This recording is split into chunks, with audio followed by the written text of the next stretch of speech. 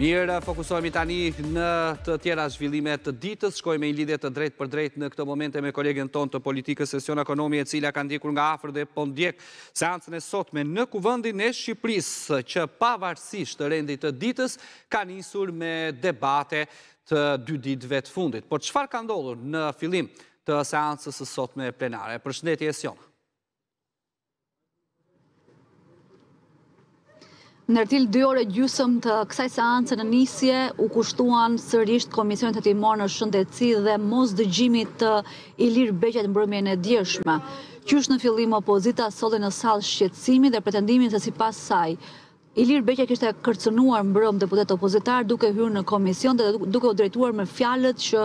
kush jeni ju, do ta shihni, mbylleni gojën, fjalë që në ndjeshmërinë e opozitarëve kishin qenë kërcënuese. Ndërkohë që kërkuan tre javë të tjera shtyrje të komisionit hetimor në mënyrë që sot të mos mbyllet hetimi, por të ketë tre javë në dispozicion që ndër të tjera të pyetet edhe kryeministri Rama, edhe dëshmitarë të tjerë përfshirë dhe biznesmenen Vilma Nushi dhe të ketë kohë komisioni për të shkruar raportet dhe për të miratuar dokumentet. Një kërkesë e tillë nuk u mbështet nga mazhoranca e cila i tha opozitës se në asnjë mënyrë Ilir Beqaj nuk i kishte kërcënuar deputetët e opozitës por kishte shprehur revoltë për trajtimin çnjerëzor pasi për dy ditë rresht ishte mbajtur në pritje në orë të gjata pa iu dhënë mundësia të jepte dëshminë e tij. Sipas socialistëve, mazhoranca i ka dhënë çdo hapësirë në komision duke shtyrë dy herë afatin për hetimin parlamentar mbi koncesionet në shëndetësi, por kishte qenë drejtuesja e komisionit dhe opozitarët që në këndvështrimin e mazhorancës e kishin abuzuar me këtë hapësirë dhe nuk e kishin përdorur në funksion të një hetimi të balancuar. Në këtë mënyrë, mazhoranca nuk dha konsensus për ta zgjatur hetimin parlamentar, nuk u hodh një në orën 12 sot mbrëmjes, pra në mesnatë në orën 24:00, këtij komisioni i përfundon afati dhe duke i përfunduar afati, pra dëshmia e Beqajt nuk mund të merret më, njëkohësisht tërësisht e gjithë një apo dy raporte nga palët në fund të hetimit, që do të ishte dhe një dokument parlamentar si produkt i një hetimi që ka nisur që në muajin mars. Pra një komision i cili në fund nuk prodhoi asgjë. Në fakt të tjera ka intervistuar apo marrë në pyetje disa dëshmitarë përfshi mjekë, shefa shërbimesh, ekspertë që kanë qenë në vlerësimet paraprake për nevojën për të Pyetur edhe dy personat që janë të arrestuar për koncesionin e sterilizimit, përkatësisht ish-zëvendësministri Rrjepaj dhe ish dhe biznesmeni i cili përfitoi kontratën e sterilizimit, Ilir Rrapaj. Të dy u pyetën së fundmi dhe pavarësisht po themi se sa ka zgjatur komisioni, provat që u publikuan në komision apo gjetjet që u ekspozuan në komision nuk shkuan përtej atyre provave dhe fakteve që SPAK-u apo Kontrolli i Lartë i Shtetit kanë ekspozuar për publikun dhe për të cilat këta persona janë nën nën hetim, disa të arrestuar, disa në masë më të butë sigurie,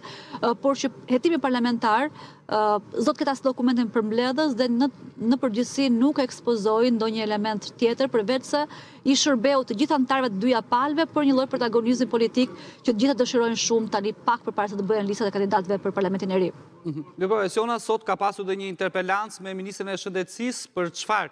është thirrur në interpelancë zonja Koçiu? Ka qenë Agron Shehaj, deputet tashmë me një mënjanë ndarë nga grupimi parlamentar demokrat, i cili ka thirrur për interpelancë ministren Albana Koçiu, e cila u pyet për situatën tek onkologjiku. Agron Shehaj ka publikuar një telefonatë dhe një denoncim që është bërë në Report Televizion nga një baba i cili ka humbur të birin dhe ka denoncuar në televizionin Report se sipas tij i biri e ka humbur jetën sepse nuk ka patur ilaçet e duhura për t'u trajtuar. Zoti Shehaj përmendi këtë rast, po edhe denoncimet mediatike të tjera që janë bërë për abuzimet te onkologjiku dhe mungesën e medikamenteve, por zonja Koçiu në përgjigje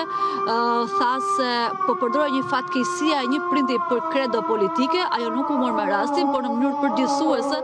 tha se investimet në aparatura te onkologjiku janë rritur, njëkohësisht janë rritur dhe fushatat ndërgjegjësuese për të depistuar dhe për të gjetur më herët po themi për të kuptuar më herët nëse dikush vuan nga kanceri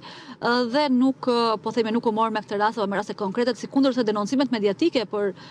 këtë çështje i ka konsideruar serioze, po ia la në dorë prokurorisë të hetojë. Agron Shehaj i quajti mediokre dhe të pashpirta këto përgjigje të ministres së Shëndetësisë. Mirë, faleminderit Esiona sepse shohim edhe pra audion nga xhamia e madhe për pak momente pra këtu në kryeqytet. Faleminderit Esiona Konomi.